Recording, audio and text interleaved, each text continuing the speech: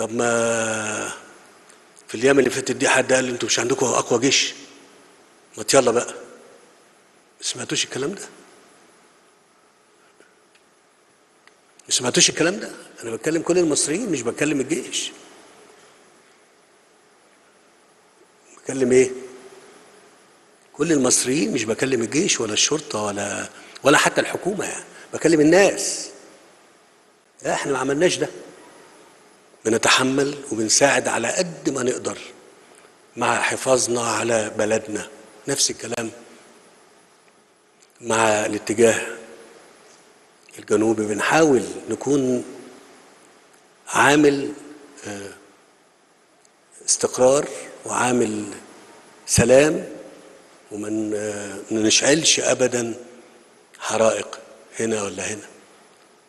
نفس الكلام في الاتجاه الثاني وزي ما قلت قبل كده في كل المساعدات اللي اتقدمت ما حدش بيقول دلوقتي ليه ليه المساعدات بتخش في إسقاط جوي ما بتخشش ليه من المعابر؟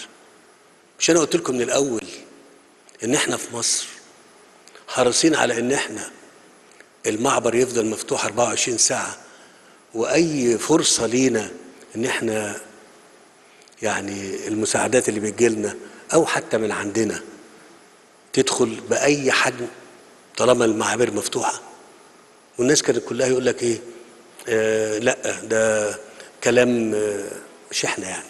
كلام إن ده مش حقيقي. لأ المعبر بيتقفل. وأنا قلت لكم المعبر ما بيتقفلش. طب هم بيرموا دلوقتي ليه؟ آه عشان الشمال مثلا بعيد شوية ولا عشان أيضا في تحديات في دخول المساعدات آه من المعبر أو من المعابر بس في عندنا إحنا معبر إحنا مسؤولين عنه.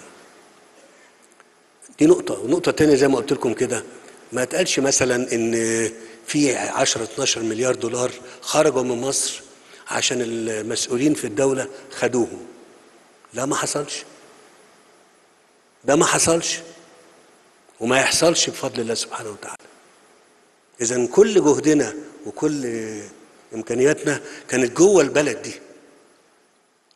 وأنا مش عايز أسيء في كلامي لاحد قبل كده. عشان يعني بعتبر دي مش مش يعني لا من صفات ال مش صفات طيبة إن أنا بس أنا والله العظيم أنا بحلف بالله. والله العظيم أنا ما لقيت بلد. أنا ما لقيتش بلد. أنا لقيت أي حاجة. قال لي خد دي.